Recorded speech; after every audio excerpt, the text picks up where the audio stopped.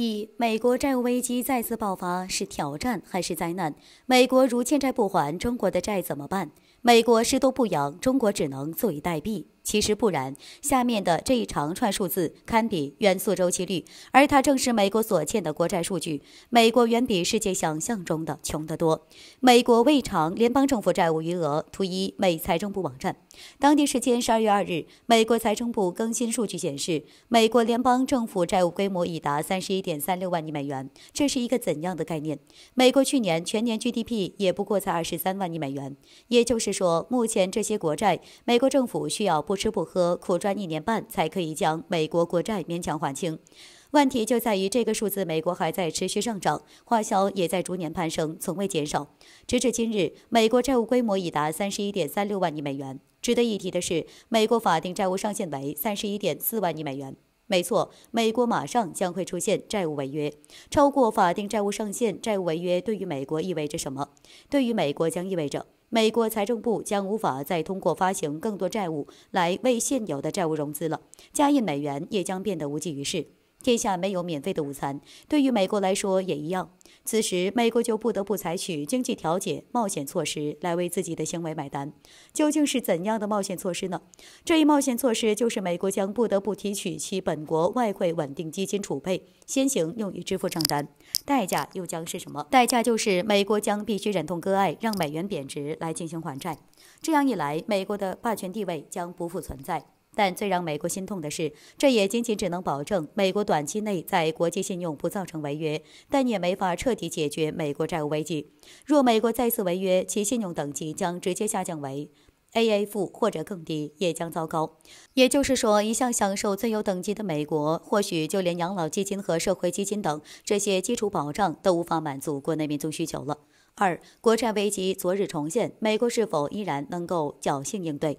美国或将迎来比2008年金融危机还要严重的经济危机，这意味着美国的灾难会来临，世界性的挑战将到来。到时候，整个全球金融市场和资本货币市场会因此受到严重牵连，导致全球性金融危机蔓延。这场打击对于美国来讲将是前所未有的，这无疑对于曼哈顿岛上的悬挂的国债中是一种赤裸裸的侮辱。美国的国债中本意是用来提醒美国国债发行量标准的，但随着美国国债不断增长，近年来国债中总是被美国以维修为借口拿来提高其国债额度，一时间美国国债中名声大噪，这也必然归功于美国这一令人迷惑的操作行为。那就是美国每次都会借维修之名，对国债中上面的国债额度进行上调设置，维修一次后面便多加一个零，这一调整国债数就能让美国不吃不喝缓三年才能还清。更为糟糕的是，几年来美国国债非但没减，而且还在持续飙升。所以如今美国国债中也早已偏离其警示美国国债增长的初心，反而成为美国自欺欺人的佐证和手段罢了。著名经济学家卢里埃尔·卢比尼大预言家就预告称。美国可能会迎来第二次经济衰退。通过对上世纪七十年代滞胀和二零零八年债务危机的特征，预言将引发一场弗兰肯斯坦式的宏观风暴。这将对美国社会灭性打击，对世界来说是一次艰难的挑战。就在近日，美国全球经济研究所发表的研究报告表示，除非发生极端情况，未来世界经济的超级新霸主将是中国。以上信息虽也只是一种预测，虽不可全信，毕竟瘦死的骆驼比马大。但是就目前发展来看，美国债务危机的潜在风险确实是一种极端情况的存在。三、美国如何应对？既然事态这样严重，咱中国买了美国国债了吗？自然是买了，而且还不少。今年十月份，我国单是美元外汇储备就是三万多亿美元，折合人民币有二十一点三万多亿元，相当于日本二零二一年外汇储备的三倍。而日本去年 GDP 也才三点九三万亿美元，也就是说，中国对美元的外汇储备量，日本一年不吃不喝都赚不够。那么，中国经济会受影响吗？不但不受影响，中国还可能会转危为安。为什么这样说呢？谈到这里，我们就不得不说一下2008年的次贷危机和2009年的欧债危机。二零零八年，美国次贷危机导致美国经济一路下滑，美国政府被逼无奈开始疯狂发债。次贷危机结束后，但是给世界经济发展留下严重的后遗症。假如当时美国经济复苏良好，那么之前所借用的钱就可以还上。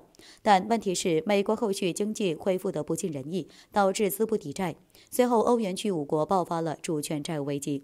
在2009年就爆发欧债危机，涉及国家有葡萄牙、爱尔兰、意大利、希腊、西班牙这欧洲五国。五国为了调节国内经济失衡，各国纷纷进行发债，导致欧洲五国普遍存在借贷过重问题。这五国纷纷采用过度宽松财政政策，导致货币逐渐零利率。政府量化宽松后，就开始逐步向国外发债。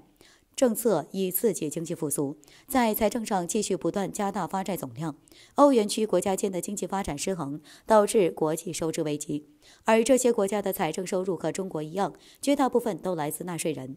金融危机爆发后，导致内外经济持续动荡，纳税人的钱也越来越难赚。这些国家也将彻底失去薅羊毛的机会。反观中国，中国一直都没有采取宽松外放的货币政策，自然也就不会导致被迫发放外债。中国人自古勤俭持。家这是道理，中国人可是很早以前就懂了。这些国家迟早会明白一点：如今所花出的每一分钱，必须有一个前提，那就是自己未来能否有能力尽快赚回。那难道说这些国家就可以不还债务了吗？并不是，税是税，债是债，税是本国纳税人的钱。国家真到了黔驴技穷时，税是可以不用还的。但问题是，债是必须要还的，不但要还，而且是世世代代、祖祖辈辈来还。中国的底气不仅仅只有解放军，还在于这里。如果美国无法偿还国债，比中国更为着急的国家不是日本，更不是欧洲国家，而是美国自己。美国国债已达三十一点三六万亿美元，其中持股最多的当属美国国内投资者，其次才是海外投资者。而众所周知，国债作为投资风险最低的债券形式，美国公民又岂会错过？美国不还债，美国公民又岂会饶过美国？中中国贸易顺差将近二十年，投资还是抛售，自身拿捏自如，必然会全身而退。随着国际信用体系的联合制裁，美国到最后也必须得清算自己的资产来抵债。不够抵用呢，美国怎么办？人在穷途末路的时候，常常就会选择比较极端的应对措施。有网友一语中的：美国用借来的钱发展了军事，打败债权国，用武力征服整个世界，所以债务不用还了。不能说完全正确，但是也不排除这样的因素。美国山穷水尽，中国柳暗花明。